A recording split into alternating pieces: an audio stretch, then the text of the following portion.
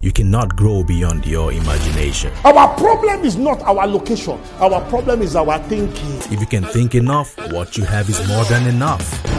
Be fruitful, multiply, replenish, and subdue.